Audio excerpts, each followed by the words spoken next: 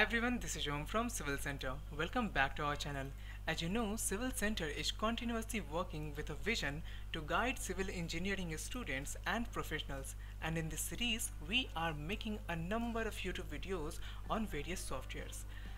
We are also open for our professional trainings. So if you want to join our online training programs, then you can find the details in the description.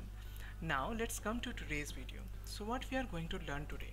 Today we will learn how you can fit the part ends of any object or any structural member in Tekla structures. So let's start. So first of all you need to go to top view. There you go to edit and then select fit part end. Then you can see I have these beams overlapping with the footing.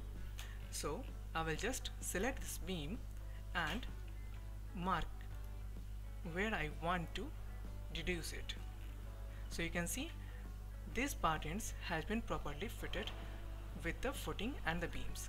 Now I will repeat the same process with this beam.